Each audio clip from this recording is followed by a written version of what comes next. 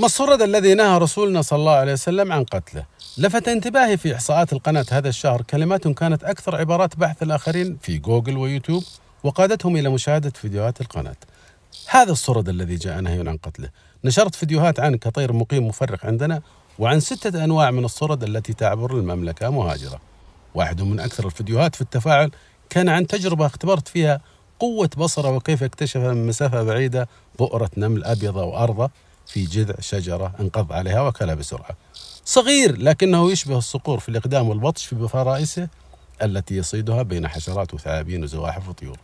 هو من أفضل الطيور الصديقة للبيئة ولو شاهدت سلوكه في الحياة البرية قد ترى أنه أكفأ من الصقور والجوارح في سرعة صيد الفريسة. في القناة قائمة فيديوهات عن أنواع الصرد وكيف نعرفها بأشكالها وألوانها وأصواتها وأسمائها بما فيها العلمية والعامية.